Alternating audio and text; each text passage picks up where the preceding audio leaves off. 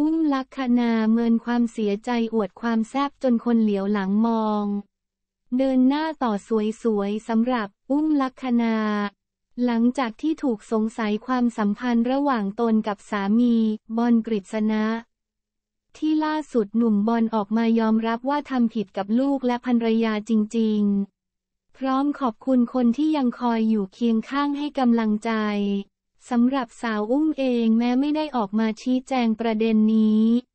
แต่ก็โพสต์ถึงเรื่องราวข้อคิดชีวิตคู่ต่างๆ อยู่เรื่อยๆ และล่าสุดก็ได้อวดความเซ็กซี่